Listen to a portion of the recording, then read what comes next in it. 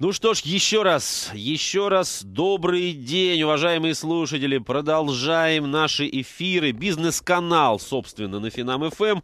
Меня зовут Олег Дмитриев, и сейчас время бизнес-класса. Это Программа, в которой мы встречаемся с э, представителями российского бизнеса, с самыми, я вам хочу подчеркнуть это, самыми успешными представителями, ну, в данном случае, самыми очаровательными, если позволите, уважаемые сударыня. А, это я сейчас обращаюсь к моей гости. А, так вот, время а, бизнес-класса. Сегодня тема, замечательная тема. Я уверен, она многим интересна и актуальна. При, присоединяйтесь к нашему разговору. Тема бизнес-класса «Социально ответственный бизнес». Ну и гости моя, очаровательные гости, Ирина Линник, соучредитель и коммерческий директор проекта «Кнопка жизни». Добрый день, Ирина. Здравствуйте. Уважаемые слушатели, для вас еще раз я напомню, телефон студии 65 10 99 6, код Москвы 495, сайт компании finam.fm. Эм. Звоните, пишите, задавайте свои вопросы. Ну что ж, давайте начнем, очень интересно. Итак, проект, Ира, проект «Кнопка жизни». Что это такое? Расскажите, пожалуйста, поподробнее. Это очень интересный проект, э, уникальный в России. Угу. Это медицинская тревожная кнопка для пожилых людей и людей с ограниченными возможностями. Угу. По сути, это первый сервис в России, который работает в этой области, при том, что за рубежом, в Европе, в Штатах, в разных странах э, эта услуга достаточно давно уже существует, где-то uh-huh. лет 20-30. Uh-huh. Это огромная индустрия, хорошо развитая, uh-huh. с большим количеством клиентов. Uh-huh. И вот э, я и мой партнер Дима в 2010 году мы решили, что это очень важная э, тема uh-huh. вообще э, приема и обработка тревожных вызовов от пожилых людей, людей, uh-huh. которым нужна помощь. Uh-huh. И поскольку я сама лично сталкивалась с такой проблемой, у меня моя бабушка родная когда еще была жива, она падала дома угу. и часами лежала на полу. И мы, э, естественно, не могли знать оперативно, да, uh-huh, что с ней случилось несчастье, и, естественно, ей помочь в этой uh-huh. ситуации. Находили вечером, когда, ну, человек лежит на полу, уже там много разных проблем возникает. Совершенно верно. Это огромный стресс. И, конечно, когда я узнала, что вот есть такое решение э, в Штатах, мы с Димой начали думать, что на самом деле это наиболее востребованный тема в России, она угу. реально очень нужна. И угу. вот так появилась кнопка жизни. Ну, кнопка жизни, я так понимаю, все-таки это кнопка на мобильном телефоне прежде всего, да? Или это... какие-то кнопки иные еще существуют? Это целая линейка устройств. Uh-huh. У нас есть телефон с кнопкой SOS, э, который, по сути, является обычным мобильным телефоном, uh-huh. и кнопка SOS запрограммирована на автоматический дозвон в наш круглосуточный медицинский колл-центр. Uh-huh. И также совместно с компанией МТС мы реализовали э, функцию геолокации, поэтому мы всегда знаем, где абонент находится. Uh-huh. Другое устройство — это браслет э, с GPS эм, геолокацией, это уже более точное определение местоположения. Браслет носится на руке, это уже телефон с одной кнопкой, по сути. Uh-huh. Есть еще домашняя станция, которая для людей, которые практически не выходят из дома, uh-huh. очень удобно, потому что это либо кулончик на шее с датчиком uh-huh. падения, uh-huh. ну, как раз вот для моей бабушки, да, которая там 82 года, уже редко выходила куда-то, и ну при да, этом, я думаю, что да.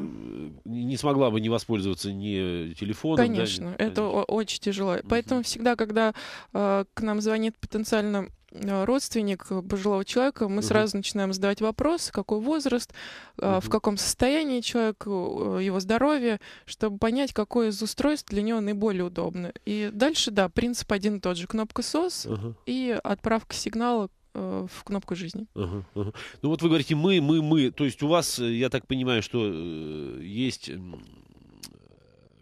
возможность обрабатывать данные, да, у вас есть там, я не знаю, кул-центр кул какой-то, у вас есть э, люди, которые оперативную помощь, или вы, может, переадресовываете это на скорую помощь или там на МЧС? Ну, в, пер- в первую очередь мы создали медицинский колл-центр, где работают люди с э, высшим медицинским образованием, и они принимают и обрабатывают первые вызовы э, для того, чтобы понять вообще, какая человеку нужна помощь. Uh-huh. Нужна ли ему скорая, uh-huh или ему нужно просто поговорить, возможно, ему нужна психологическая какая-то помощь. А, кстати, и... это легко определить. Вот смотрите, ну, вспомним да. опять случай, о котором мы рассказывали, либо абстрагируемся от него, ну, теоретически представим, пожилой человек или, может, не очень пожилой, но человек с ограниченными возможностями упал и он иногда и не сможет объяснить, что происходит, как, как вот отреагирует в данном случае. Ну, э, смотрите, у нас э, достаточно много сценариев продумано, все-таки клиенты uh-huh, все uh-huh, разные. Да. Здесь есть несколько вариантов. Первое, э, в момент звонка у нас поднимается карточку оператора, он же сразу видит, кто звонит, какое uh-huh. состояние у человека, какие заболевания контактные данные доверенных лиц. То есть мы можем уже представлять, кто звонит. Вы можете представлять только потому, что есть карточка. То есть он да. уже звонил, да, когда-то раньше? Или... Нет, он заводится в систему в а. момент э, получения сервиса я понял, и подключения. Понял. Ага, ага. В этом и основная суть, да, что у нас уже есть вся информация, и... То есть, получается, я приобретаю да. вашу, приобретая вашу услугу, да, я сразу попадаю, ну, на первичный медицинский медосмотр какой-то, да, на меня заводится аналог медицинской карты, так, так это выглядит? Примерно? Ну, э, не совсем медицинский осмотр, uh-huh. все-таки всю информацию мы берем дистанционно uh-huh. у родственника пожилого человека. А, но мы стараемся собрать максимально полные данные для того, чтобы врач в момент экстренного вызова уже понимал... Да, с кем имеет дело. С кем имеет дело. Таким uh-huh, образом, uh-huh. он уже может делать выводы. Uh-huh. Когда идет не мой вызов, э, например, бывают такие случаи, человек не может говорить. Uh-huh. У нас на этот случай мы стараемся брать контактные данные соседей, uh-huh. родственников. Uh-huh. Мы отправляем доверенных лиц, чтобы они проверили, все ли с человеком в порядке. И параллельно, если есть подозрения, отправляем скорую. Uh-huh. Uh-huh. То есть там могут быть разные истории. Э, самое главное здесь, что а, во-первых, человек может очень быстро дозвониться. Например, если вы звоните 112, у меня был недавно случай, мы звонили с другом э, в полицию, 4 минуты 45 секунд мы ждали, пока нам ответят. То есть пока снимут трубку просто? Да, пока просто ответит оператор. 4 минуты, э, это просто дурдом какой-то, да? Э, наш колл-центр принимает вызов в течение 5 секунд. И э, дальше, если, например, звонок сброшен, э, в обычной ситуации никто вам не будет перезванивать. У нас все э, такие вызовы фиксируются. Угу. Мы пока не выясним, почему пришел вызов. Пусть он будет ложный, неважно, да, но мы... Ну, в любом случае надо убедиться, да, конечно. Пусть дойдем это... до финальной точки, до разрешения угу, ситуации. И э, в этом большой плюс. То есть э, ни один вызов, ни, один, э, ни одна просьба о помощи, она не останется без ответа. Это здорово. А на, насколько, давайте так, насколько большой поток сейчас, да, вот поступает ваших звонков? Потому что я еще с другой стороны интересуюсь, а какое количество, э, так сказать, первичных э, специалистов, да, для первичной обработки нужно вообще иметь в этом случае? Ну, у нас э, сейчас эм, порядка трех тысяч эм, абонентов в Москве, uh-huh. несколько тысяч в Питере. Uh-huh. И, э, ну, звонки идут постоянно, то есть это там, ну, порядка 30-40 вызовов э, в, день, да? в неделю экстренных, uh-huh, uh-huh. ну, и там идет поток еще просто звонков, я сейчас даже, наверное, уже не скажу, ну, где-то там каждую минуту пара звонков идет, но основная масса, где-то процентов 80 звонков, это все равно какие-то вопросы, посоветоваться, uh-huh, поговорить. Uh-huh. И на самом деле тоже очень важно. И мы... Ну, это, кстати, нормально, да? Вот да. вы с точки зрения, со, со своей точки зрения, вы рассматриваете это нормальным, да? Потому что человек, ну, в сложной ситуации, да, он звонит иногда не только потому, что ему срочно нужна медицинская или какая-то другая помощь, а иногда просто он одинок, и в этом случае, да, вы... Ну, ну да, у нас... Мы даже делаем э, исходящие звонки, чтобы, ну, мы называем это звонок «все хорошо», uh-huh. когда мы просто позваниваем нашим подопечным и узнаем, все ли у них в порядке. А То по какому принципу вы выбираете этих подопечных? Всех подряд или, может а, быть... Ну, это регулярная работа, uh-huh. где-то там один раз, два раза в неделю, в зависимости от э, состояния. Да, да. да, менеджер просто набирает, узнает, э, все ли хорошо. Если, например, э, телефон, вдруг мы видим, что он выключен, мы обязательно начинаем отзваниваться, чтобы Позвонить соседям, родственникам, да? Да, доверенным лицам, uh-huh. либо на домашний телефон э, пожилому человеку, чтобы uh-huh. он включил мобильный обязательно, чтобы у него была возможность в случае чего нам быстро позвонить. Кстати, мы говорили сейчас, вы начали говорить, mm-hmm. да, рассказывать о количестве абонентов. Это Москва и Санкт-Петербург, я правильно понимаю? Ну, основное количество, да. Есть еще у нас представительство в Перми сейчас, э, в Новосибирске. Mm-hmm. Вот э, новый партнерский проект в Барнауле сейчас в процессе а, развития. А, да. От чего география зависит? От чего? Ведь можно предположить, что людей, да, э, ну, ваших потенциальных клиентов, их везде предостаточно. Ну, конечно, да. Но исторически сложилось так, что мы начали проект Москве. Затем э, получили э, проект в Питере, э, ну это с государством, ну при поддерж- поддержке э, правительства города Санкт-Петербурга. Это очень хорошо. А по- Да. поддержка московского правительства есть у вас тоже? Департамент соцзащиты Есть, города да? Москвы. Это да. очень важно, это очень да, нужно. И, соответственно, начинали Москва-Питер, а дальше у нас пошел огромный поток звонков из регионов с предложениями о партнерстве. Так. И мы решили, что было бы интересно попробовать франшизу.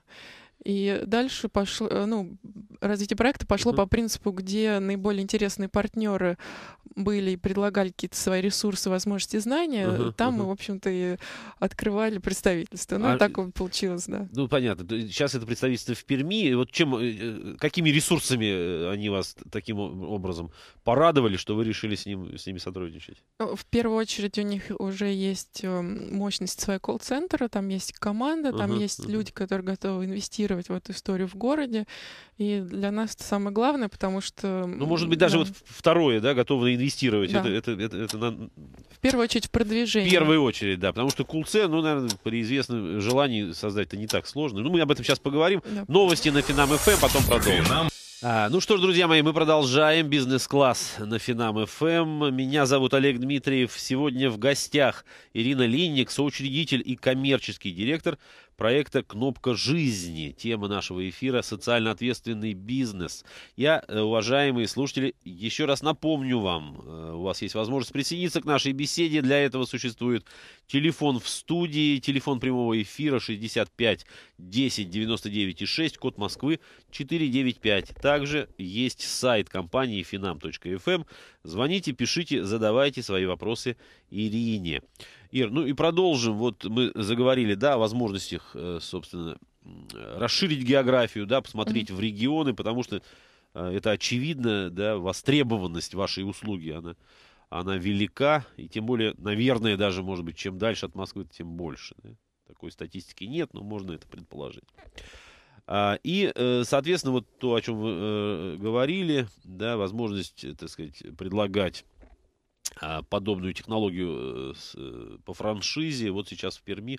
А, Так вот, э, значит, не- необходимые обстоятельства, да, для того, чтобы выбор пал на Мгм. того или иного а, вашего партнера, это, во-первых, наличие, да, необходимых инвестиций, да, Ну, готовность желающих, да, Вкладывать, да, вкладывать в деньги. проект, либо наличие Вообще- партнеров, инвесторов. Да, да, да. Вообще прилично это все дело стоит, если с точки зрения инвестора рассуждать.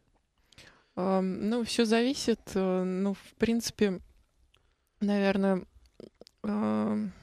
здесь надо рассматривать конкретно модель отдельного региона. Ага, Вот. э, В любом случае, инвестиции не слишком велики, э, потому что основную технологию мы предоставляем. Ага. У нас колл-центр, он обслуживает круглосуточно любую часть России, соответственно, наши операторы готовы принимать эти вызовы. Ага.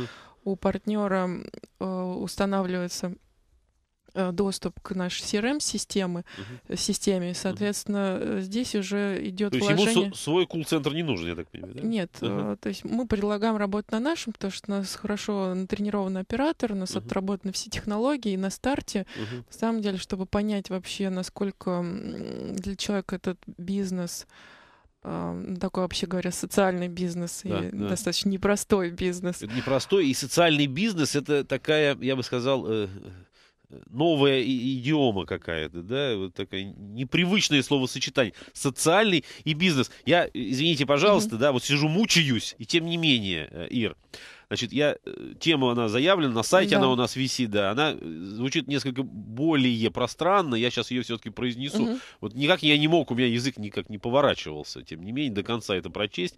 Мы сегодня говорим о социальном ответственном бизнесе и говорим о том, как зарабатывать на Мгм. помощи да, ну, вот, нуждающимся людям. Вот, вот это меня несколько как бы... э, Смущает сама формулировка. Сама формулировка, именно так. И вот то, что вы сейчас заговорили, социальный бизнес, да, с одной стороны, Мгм. бизнес это деньги, с другой стороны, социальная ответственность, это помощь, это милосердие, да, это, я не знаю, сердце открытое. И как это, Мгм. можно это сопоставить? Ну, учитывая ваш опыт, наверное, можно. Расскажите, как. Ну, э, в принципе, если даже посмотреть определение социальный бизнес, что это такое, то одно из определений звучит следующим образом. Это бизнес, который решает э, некие проблемы э, общества, которые не может решить или не хочет государство. Государство, да, да, да. И э, в данной ситуации мы как раз решаем эти проблемы.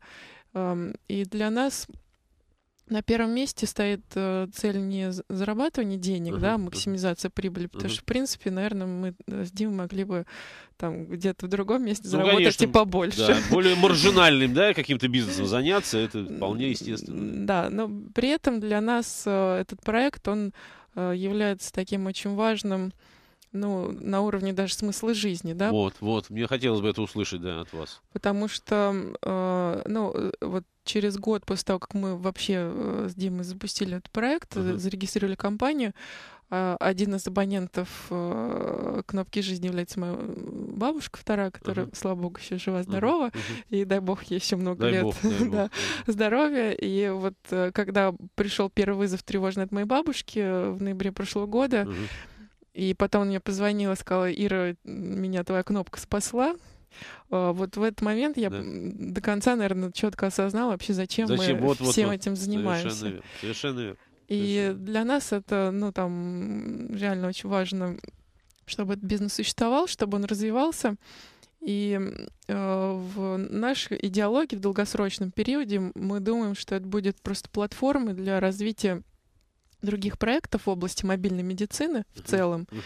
И э, в долгосрочном периоде, скорее всего, мы там, может быть, будем зарабатывать на каких-то других решениях. Мы сейчас э, развиваем тему дистанционного мониторинга различных показателей uh-huh, тела, uh-huh. давление, вес. У вас э, образование какое, кстати? Экономическая, высшая школа экономики, да. Я ну, просто я подумал, что вы, может быть, э, закончили медицинский институт, поскольку... Нет? Нет. Но, вы знаете, на самом деле, эм, наверное, лучше быть экономистом и привлекать uh-huh. специалистов, э, Вполне логично, чем да. быть медиком, медиком, пытаться заниматься бизнесом. Да-да-да. И не дай бог, да, потерпеть крах э, в этой области. У нас есть звонок, давайте послушаем и ответим на вопрос, если он есть. Наталья, добрый день, вы в эфире. Алло, здравствуйте. Здравствуйте. Скажите, пожалуйста, вот э, ваша служба чисто медицинская, или это телефон доверия, или это помогает бабушкам, допустим, окна помыть, она позвонит и придет окна помоет, uh-huh. или это помогает потеряшкам в лесу. Uh-huh. И еще не хотели бы вы сотрудничать с социальной сетью небо.ws, uh-huh. а также с нашей компанией Пересвет Телеком? Uh-huh. Спасибо, Наталья. Вопрос понятен. Сейчас мы услышим ответ Ирины на него. Ну, во-первых, опять, да, а, Наталья перечисляет, э, собственно, функции, функции, угу. да, задачи, какие вы ставите, если можно еще раз рассказать. Ну, а, основная задача, собственно, повторю, это а, оперативное принятие сигнала СОС от абонента. И дальше экстренное оперативное реагирование, подключение необходимых служб и оповещение доверенных лиц.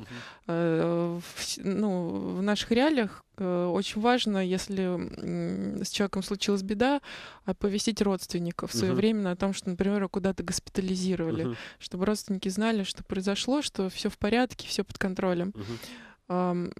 Что касается телефона доверия, Здесь отчасти наши психолог, ну, медики э, могут оказать психологическую помощь. Э, в сложных ситуациях мы перенаправляем вызов в службу доверия э, на телефон доверия.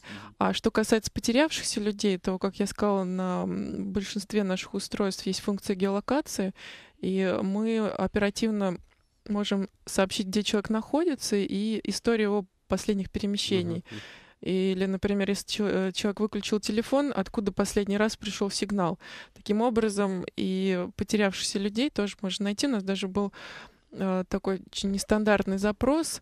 Один из домов престарелых попросил сделать трекер для дедушки, который убегал. Он перелезал через забор. Э, трекер — это специфическое какое-то название? Что такое? Трекер — это небольшой такой приборчик, как спичный коробок, ага. который, ну, там есть GPS-датчик, э, ага. и он вшивается в одежду, и, соответственно, мы можем э, задать радиус, при пересечении которого идет сигнал, что человек вышел за периметр. Uh, ну, такая немножко уже... Э, детективная история, да? да? Детективная, детективная история. история. Но вот в случае с этим дедушкой, который в прошлом спортсмен, она... Ну, он, видимо, да, убегал, мама, не горю, его там, да. Через двухметровый забор он перелезал. И, к сожалению, человек уже не очень ясное сознание, он терялся, это, конечно, там огромный стресс для всех был. Ну, вот такое у нас был, например, э, ну, решение. Результат, тем не менее, был достигнут, да, после того, как этот трекер ему вшили, то все нормально уже? Ну да, то есть, в принципе, там несколько раз э, была ситуация, когда сигнал отправлялся, смс Его быстро находили. Да, потому что когда он только перелез через забор, его легко поймать. А если он уже там 2-3 часа... В чащу уже углубился, да? Его уже... Ну да, там уже целая история. Там. И опять же, про сотрудничество, э, конечно, там какие-то, если сложные ситуации, например, у нас нет своей группы спасателей, которые идут в лес там и ищут человека, но при этом есть масса организаций, которые этим занимаются. И мы просто перенаправляем им вызов, потому что это их профильная деятельность. Конечно, конечно. А для нас, ну, там нет такого объема таких вызовов. То есть это очень точечные uh-huh. ситуации, uh-huh. они бывают редко. Поэтому наша задача очень оперативно координировать вот все эти службы uh-huh. для спасения человека. Я понял.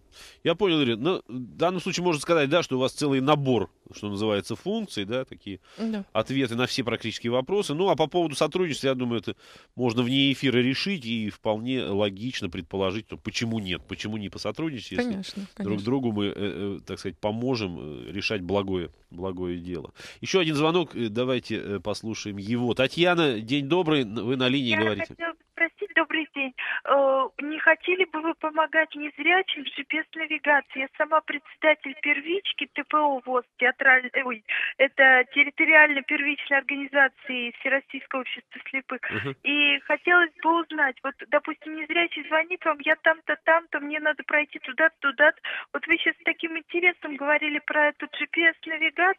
Если у вас получится, зайдите, пожалуйста, на сайт www.elitagroup.ru. Uh-huh. В транслитерации Elita Group. Uh-huh. Найдем, найдем обязательно, Хорошо, Таня. Спасибо, спасибо. Спасибо вам за звонок. Ну, в принципе, это возможно, как ты считаешь, с технической точки зрения? Э, ну, технически, скажем так, эм, э, человека направлять под GPS-навигатор uh-huh. достаточно сложно, сложно да? потому что он слепой и ну, ну, я не знаю, насколько это для него было бы комфортно. Найти этого человека мы можем. Можем, можем, да. Вот. А вот управлять, поверните направо-налево, наверное, как автомобиль, это уже uh-huh. требует каких-то специальных навыков от незрячего. Uh-huh. Я боюсь, что это будет сложно. Но uh-huh. мы не пробовали никогда. Ну, в любом случае, да, можно это обсудить, как минимум, попробовать. Может, найдется другая идея, ведь в любом случае, да, мы же всегда говорим, только дорогу осилит идущий. Конечно. Надо, э, естественно, надо двигаться вперед. Значит, э, Ир, э, сейчас у нас через некоторое время, э, собственно, новости на Финам ФМ, да, вопрос я никакой сформулировать уже не успею, ну и, соответственно, вы ответить на него не успеете. Поэтому, уважаемые слушатели, мы сейчас еще раз прервемся на новости, а я тем временем, пока есть еще немного времени. Сообщу, мы сегодня говорим на тему социально ответственного бизнеса. А в гостях Ирина Линник, соучредитель и коммерческий директор проекта «Кнопка жизни». Ну, а сейчас новости на Финам ФМ. Итак, друзья, мы продолжаем сегодняшний эфир, тема которого под э, с восклицательным знаком, я бы так ее еще раз прочел. Итак, мы говорим на тему социально ответственного бизнеса и, внимание, как зарабатывать на помощи э, таким людям. Э, в гостях сегодня Ирина Линник, соучредитель и коммерческий директор проекта «Кнопка жизни». Uh, уважаемые слушатели, я еще раз напомню для вас, на всякий случай, телефон студии 65 10 99 6, код Москвы 495, сайт компании finam.fm, пожалуйста, звоните, пишите, задавайте свои вопросы Ирине, ну, вот эти звонки в основном сейчас, да, имеют одну тематику, вот э, некое такое сотрудничество, что, наверное, и неплохо, ну, и неплохо, я так думаю, как минимум потому, что кроме Иры, как человека неравнодушного, есть еще и другие люди неравнодушные, и это здорово.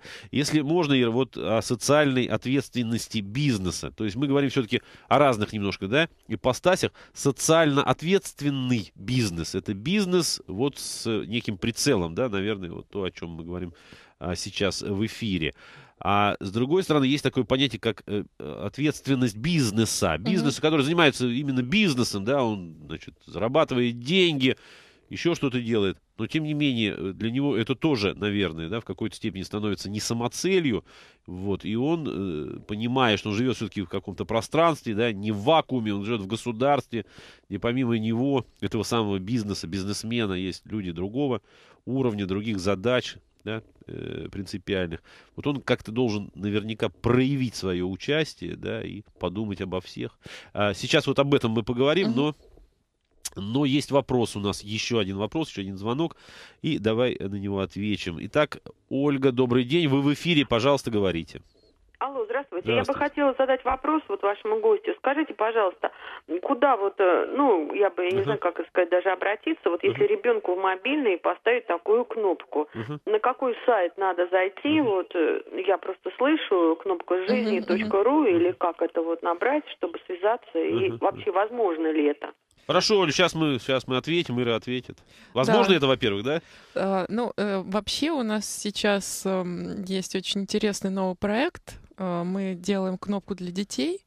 Это будет небольшой мобильный телефон, специально для детей разработанный. Там mm-hmm. будет точная GPS-геолокация. На сайте сейчас пока этого продукта нету, новый, но мы сейчас будем вот первых клиентов... Сайт, во-первых, произнеси а, сайт, потому да, что Оля так, я понимаю, сайт, не поняла. кнопка 24.ru. Mm. Ну, либо в поисковике, если вы наберете кнопку жизни, ну, да, там, там сразу выпадет э, наша компания. На первом а, месте вы там, да? Ну, практически да. Так, кнопка 24.ru. Uh-huh. И можно просто нам позвонить, либо написать на info собака кнопка 24.ru и э, мы можем вас включить в число первых клиентов, которые на себе испробуют наш новый продукт. То есть такой тест, тест, да, Кстати, да. когда он будет запускаться? У вас план это есть уже? Ну, у нас в планах сейчас летом э, потестировать на людях, которые готовы принять участие uh-huh. в эксперименте. А, ну, в первую очередь нам важно посмотреть, э, как работает само устройство, насколько оно для людей удобно, потому что есть целая линейка этих устройств, которые могут быть использованы. Кстати, и, извини, пожалуйста, да. вот про устройство ты говоришь, это какой-то ноу-хау, или вы просто берете ну, стандартный мобильный телефон какой-то компании, не будем их называть, и туда что-то внедряете? Ну, э, мы на уровне программного обеспечения э, настраиваем этот прибор для того, чтобы он uh-huh. максимально удобно и точно передавал информацию о местоположении. Uh-huh. И сигнал SOS отправлял на наш пульт. А так мы смотрим наиболее удобные, интересные, продвинутые устройства по всему миру. Uh-huh и, То есть есть аналоги просто, да? Есть? Да, и просто ездим на выставки в Гонконге. Uh-huh. Вот недавно наши ребята ездили, uh-huh. привезли несколько очень удобных телефончиков, маленьких, легких. То есть здесь э, мы сами не разрабатываем эти гаджеты, uh-huh. мы просто берем лучше, uh-huh. интегрируем нашу систему. У нас очень э, удобная платформа, которая позволяет нам подключать любой практически uh-huh. гаджет. И дальше наша задача просто настроить его максимально удобным образом для клиента. Кстати, я вот хочу да. еще да, подчеркнуть то, что ты сейчас говоришь. Да? В Гонконге вы были, где-то в другом месте. То есть я правильно понимаю, что э, мировые производители гаджетов, слово неприятное, но угу. другого нету, к сожалению, в русском языке. Так вот, мировые производители гаджетов, они об этом зна... они об этом помнят, да, они говорят, что нужно еще специальные устройства э, создавать, да, вот для подобного типа э, пользователей. Это так? Конечно, это угу. целая индустрия, угу. и, э, ну, во-первых, как я уже говорила, это огромный рынок Европе и США, угу. И есть э, большое направление для пожилых людей, людей с ограниченными возможностями. Это одна история. Вторая история как раз вот... Э, для детей. Трекинг детей, uh-huh, да. Там, например, Walmart э, продает в своих магазинах маленький GPS-трекер, который там прищепкой крепится uh-huh, к uh-huh, uh-huh. рюкзаку, и там 24 часа в сутки можно узнать, где находится ребенок. А там функция какая? Только я, я слежу, да, ну, куда-то мне на мобилу, наверное, на мою сигнал поступает, да? Uh, ну, я знаю, да. где он. И, да. Или я могу с ним связаться, или послать ему сигнал, или он мне может послать? Э, ну вот есть разные решения. Uh-huh. Мы как раз остановились на том решении, которое позволяет связаться. То есть там uh-huh. э, в этом устройстве еще стоит сим-карта. Это получается такой телефон с одной кнопкой. Uh-huh. То есть если ребенок нажимает на телефон Э, на, на этом устройстве кнопку на SOS, uh-huh. да, то он может поговорить, сказать, что с ним не так. Uh-huh. И с другой стороны, всегда можно на это устройство позвонить. То есть мог, может быть входящий вызов. Uh-huh. Uh-huh. Это uh-huh. также удобно для пожилых людей, которым трудно пользоваться мобильным телефоном. Ну, конечно, конечно, конечно. Набирать эти самые Вот. И при этом вы всегда можете узнать, да, где находится человек. Ну, допустим, ребенок не отвечает на звонок. Uh-huh. Э, наиболее частая история. Да, да. Ну, тем не менее, спасибо, Ира. Значит, Оля, да, я, вы нас, наверное, слышите, вам я адресую, а, собственно, э, эту фразу. Каким образом найти, да, компанию вы знаете, адрес Ира продиктовала, ну и в конце еще мы закрепим это дело. Вот. Ну и у вас есть возможность протестировать новое устройство, как раз, да, воспользоваться предложением Ирины, который вот сейчас это дело озвучила. Хорошо, давай дальше мы поговорим. И вот э, хотелось мнение ваше услышать, Ира, по поводу именно социальной ответственности бизнеса. Угу. Ну, вопрос я, извините, уже задам такой банальный и даже э, не требующий, наверное, э, какого-то ответа, а, осмысленного, осознанного, потому что ответ на него очевиден. Но, на ваш взгляд, должна быть эта ответственность у бизнеса? Социальная ответственность? Ну, э, конечно, должна у любого. Uh-huh. Тут uh-huh. просто надо разделять, эм, наверное, вот э, бизнес социально ответственный. Э, ну, например, если возьмем там компанию, не знаю, там ВТБ, допустим, да, да у да. них огромное количество программ по поддержке Uh-huh. Ну, наверняка, я так сейчас э, на вскидку, наверное, не вспомню, но наверняка они инвестируют, ну, мы... да, вкладывают что-то там, поддержку детей. Не, не будем говорить, да. да, конкретно о какой-то компании, но если да. это большой бизнес, Допустим, зарабатывает огромные деньги, то наверняка. Да, и они, например, направляют какую-то сумму на uh-huh. вот э, Э, поддержку каких-то социальных инициатив. Для них это, ну, я считаю, отчасти это пиар и продвижение их собственного бренда, uh-huh. а с другой, ну, наверное, какая-то добрая воля руководства этой компании. Но при этом а, у них нет э, фокуса на этой деятельности, это не их профильная деятельность. Uh-huh. Uh-huh. Для нас, как социальный бизнес «Кнопка жизни», uh-huh. э, это, собственно, основная деятельность. То есть то, что мы делаем, мы делаем для того, чтобы принести пользу uh-huh, uh-huh. людям, обществу, чтобы решить проблему, которая существует в обществе. Я uh-huh. считаю, что две огромные разницы. Uh-huh. И совершенно разная ну, парадигма, да, да, по, да, да. поэтому здесь я бы не смешивала два понятия, они часто путаются, но вот социально ответственный бизнес эм, ну, именно с точки зрения деятельности uh-huh. в области CSR, да, и э, социальный бизнес как кнопка жизни, это немножко uh-huh. разные, разные вещи. вещи. Разные да. вещи, я понял, я понял. Хорошо. Тогда мы поговорим все-таки о том, э, ну, что заявлено а в теме и, ну, учитывая, что это все-таки бизнес-класс, хотелось бы а, услышать ответ на этот вопрос. А в чем маржинальность, на чем вы зарабатываете, в конце концов? Ну, мы зарабатываем на э, реализации самих устройств. Мы зарабатываем на абонентской плате, потому что человек э, подключается к нашему сервису. Uh-huh. И, соответственно, он оплачивает ежемесячно какой-то платеж, uh-huh. часть которого идет в прибыль компании. Uh-huh. Понятно, что чем больше абонентской базы, тем больше возможность зарабатывать. Uh-huh. То есть на сегодняшний день мы сейчас пока что на пути в э, нашу точку безубыточности. Еще не отбили вложения, да, как э, говорят? Еще пока нет. Ну, получается так, что uh-huh. мы достигли сначала какого-то минимального уровня в 2000 абонентов и достигли первой точки безубыточности, но uh-huh. дальше пошли инвестиции в развитие инфраструктуры, в наращивание штата, uh-huh. в усиление колл-центра.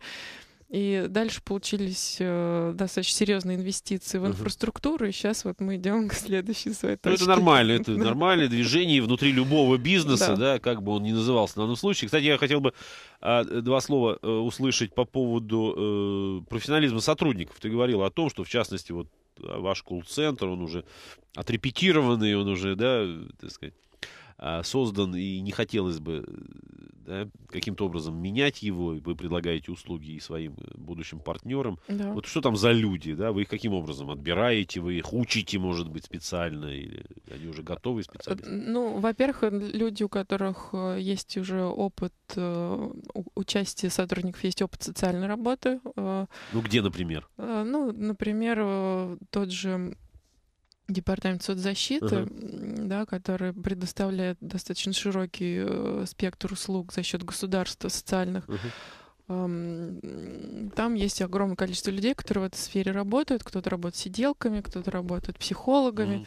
Соответственно, мы э, фокусируемся на этот опыт работы, чтобы у людей не было барьеров, страхов общения с пожилыми людьми, чтобы они умели с ними общаться, потому uh-huh. что есть определенная специфика. Это с одной стороны, с другой обязательно медицинское образование. Обязательно и, медицинское. Да, конечно. Uh-huh. И обязательно, чтобы у человека был какой-то опыт уже работы в этой сфере. Uh-huh. В идеале, чтобы человек понимал ну, на, на уровне даже какого-то здравого смысла, э, почему да. человек звонит, да, какая у него проблема. Ну, приведу пример, да, uh-huh. чтобы не было просто общими словами. Например, звонит э, бабушка, Я просто периодически прослушиваю звонки, чтобы понять, кто звонит, с какими проблемами. Звонит бабушка, говорит, вот у меня там очень болит голова, и вроде как она звонит просто посоветоваться. Дальше э, оператор начинает задавать ей наводящие вопросы, э, и приходит к тому, что у нее там давление под 200, и на самом деле ей срочно нужна скорая. Угу. А вообще бабушка-то звонила не скорую вызвать, ну, а понятно, просто пожаловаться. Да, да. И в итоге мы э, вызываем ей скорую, ее госпитализируют, и оказывается, что на самом деле, э, может быть, даже ей жизнь спасли. А если бы а, а, она просто отсиделась бы дома, отмолчалась, ну, да. может быть, у нее там могли быть какие-то там инсульты, еще да, какие-то да, да, проблемы. Не, не, не дай бог. Да, угу. то есть на, на самом деле еще э, какая большая проблема с пожилыми людьми? Они э, являются представителями такого поколения, так называемых молчунов. Да, uh вот есть теория поколений, которая описывает поведение и привычки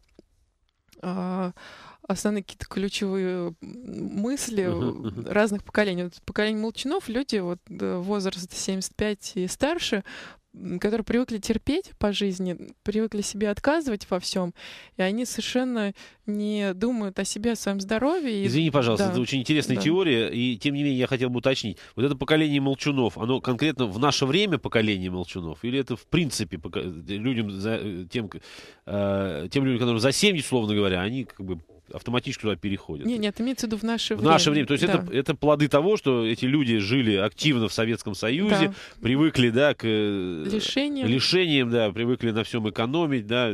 Все ради, ради большого дела. Ради большого дела. О ну, себе забыть, в дальнейшем, да. в дальнейшем, да, я просто своих родителей вспоминаю, да, естественно, да. да.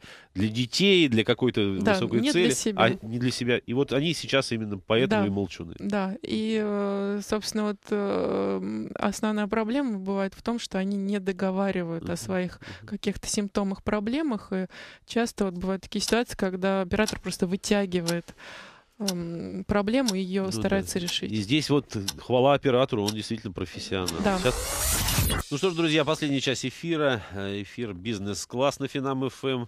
Мы говорим сегодня на тему социально ответственного бизнеса. И в гостях Ирина Линник, соучредитель и коммерческий директор проекта «Кнопка жизни».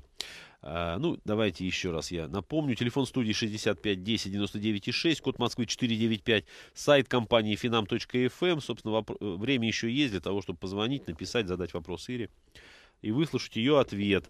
А, и в продолжении нашей э, прерванной беседы профессионализм сотрудников. Ну, вот пример очень яркий, безусловно, да, и во многом угу. действительно результат зависит от этого профессионализма. Значит, медики, да, прежде всего медики. Ну, да.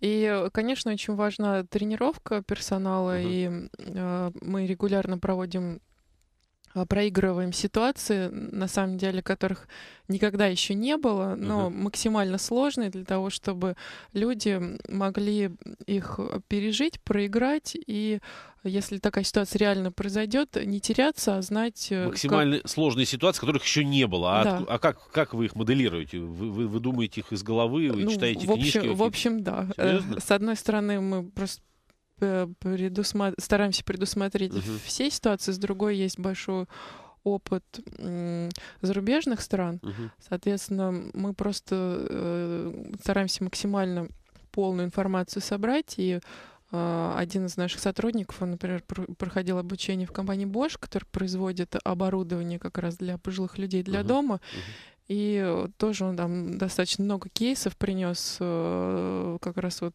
которые стали частью обучения персонала. Uh-huh.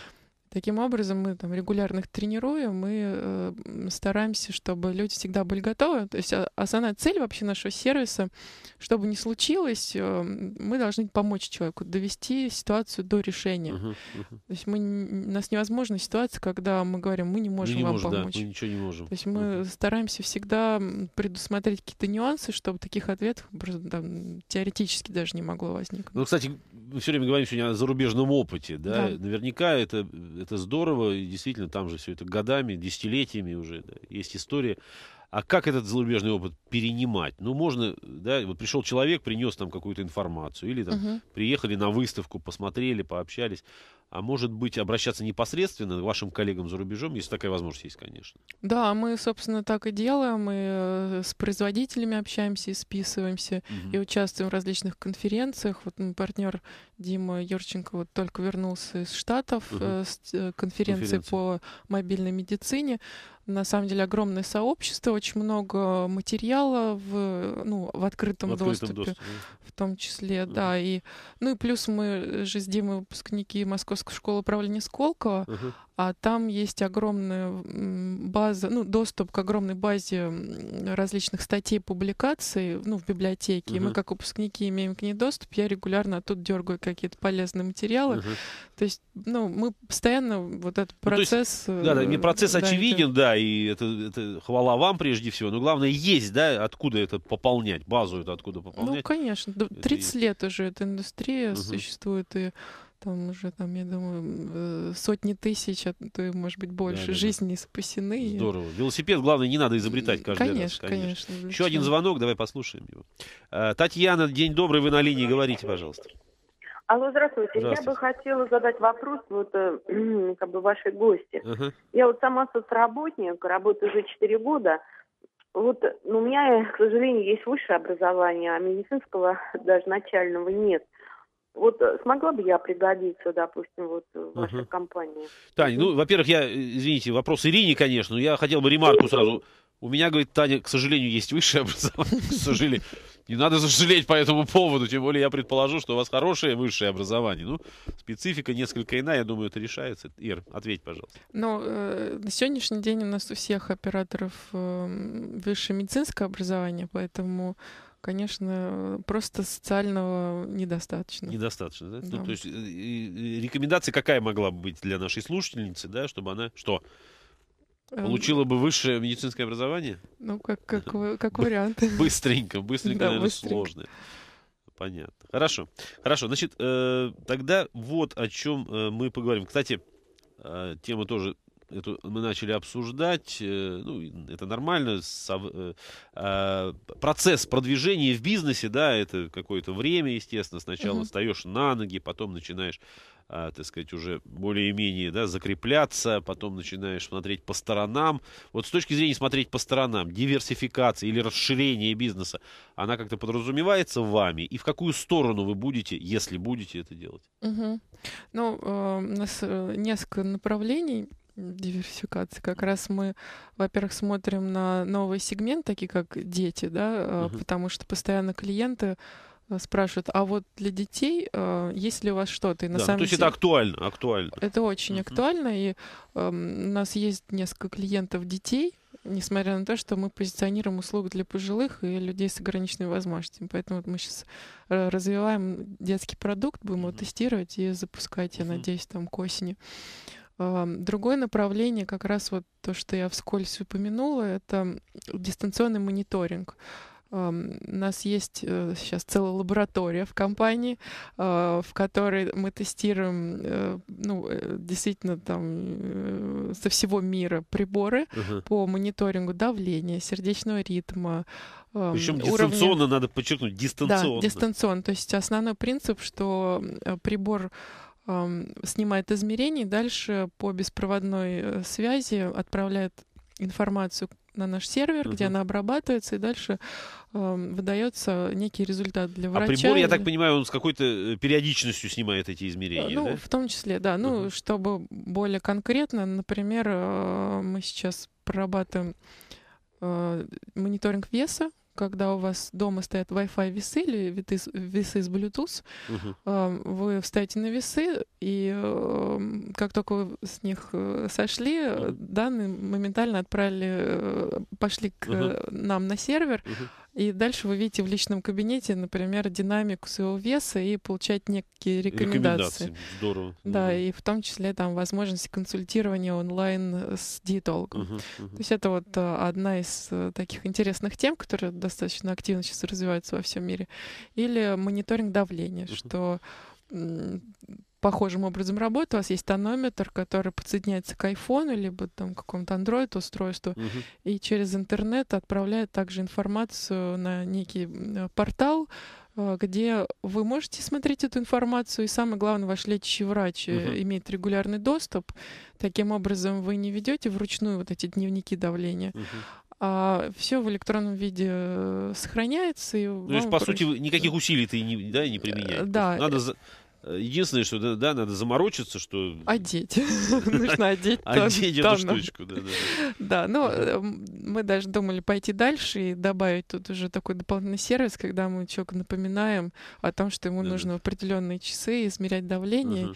И если, например, показатели Э, выходит за нормальный каким-то э, экстремальным образом, да, там в разы Э, выше норм, то мы оповещаем его и, например, лечащего врача о том, что ну что-то здесь не так. Uh-huh.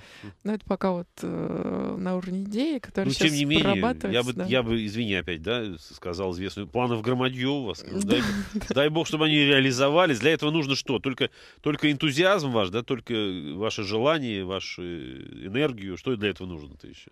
Ну, э, команда, которая, в принципе, у нас есть. Вот. У нас э, основной ресурс — это э, профессионализм команды. Очень много IT-специалистов, uh-huh талантливейших, и которых мы э, замотивировали наши идеи, они из всего рынка, ну, лучшие из лучших, uh-huh. работают в нашей компании. Ну, да. смотри, ты замотивировали идеи, да? Ты не да. сказал, что замотивировали огромной зарплатой, тем более, что представители IT, э, так сказать, да, бизнеса, как правило, самые в этом смысле впереди планеты всей, да, самые высокооплачиваемые. Все-таки идея. Ну, вы знаете, да, вот что, э, мне кажется, очень важно в нашем, ну, в моей компании, компании «Кнопка uh-huh. жизни» uh-huh. у нас э, все сотрудники работают э, ради идеи в первую очередь. И мы...